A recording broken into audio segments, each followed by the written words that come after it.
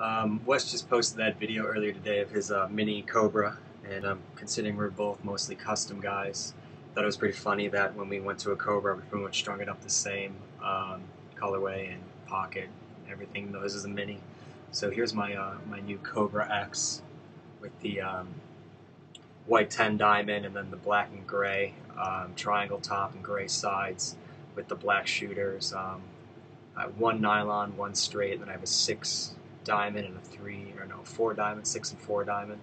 And um, well, we had like the same profile on it, the mid to high pocket, and then really, really tight down here because it works really well with the uh, the raised ball stop in the uh, the Cobra. For when you're going one-handed, you can still have that nice tight bottom string to give the high pocket a lot of definition. Um, and that's on my uh, my favorites, probably favorite shaft of all time, Warrior Titan Levitation.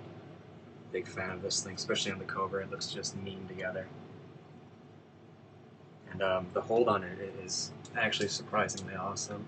And I would say surprisingly, but about as good as my customs, which I put a lot of time into the holds.